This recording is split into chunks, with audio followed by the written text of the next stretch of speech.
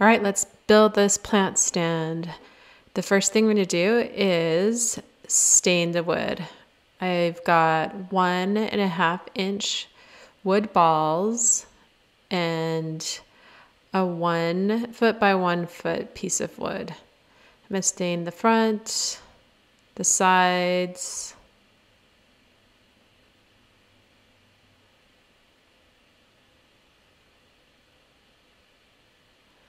and the back of the board.